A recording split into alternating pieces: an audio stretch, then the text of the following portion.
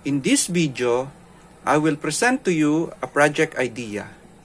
Let's call it a door lock security system. The idea here is to control the door lock using an Arduino board.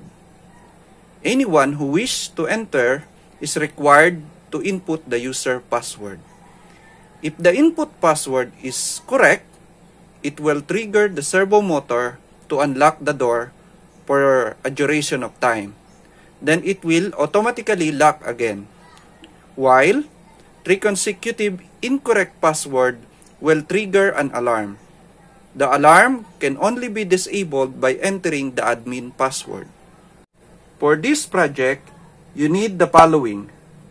An Arduino Uno board, which will serve as the main microcontroller, a 16 by 2 LCD for the display, a 4 by 4 membrane keypad for inputting the password, a servo motor that will serve as a door lock, a buzzer for the audible alarm, some LEDs for the visual indicator, some resistor for limiting the current, a breadboard, and wires for connecting the circuit, a potentiometer for the LCD contrast.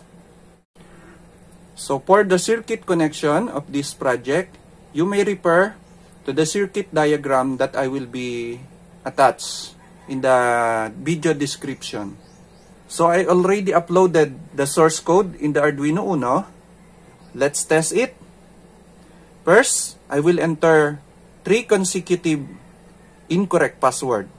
So, 1, invalid entry. 2, invalid entry. And 3, invalid entry. Now, it, it will give an audible alarm and a visual indicator. So,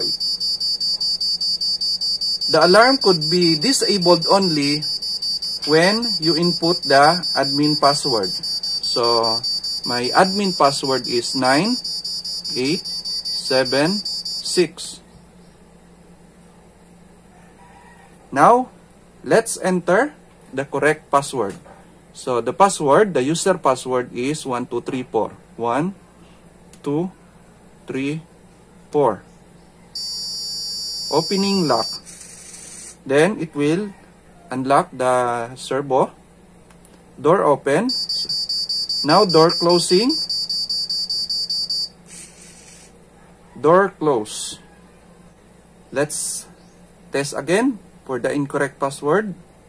I will enter incorrect password. One, two, three. Incorrect password. So, we will disable it. 9, 8, 7, 6. So, the alarm is disabled. So, let's try again. Let's input the correct password. 1, 2, 3, 4. Opening lock. Door open. So now you can enter. Door closing. So be, uh, be warned. Now door close. Let's say you enter a wrong password. Valid entry. Valid entry. Alarm. Uh, you need to enter a correct admin password. 9876. So that's it. All the additional information could be found in the description of this video. If you enjoyed this video, please give me thumbs up and share this to your friends. Please do not forget to subscribe and click the notification bell so you will be notified for more videos like this in the future. Thank you and have a good day. Bye!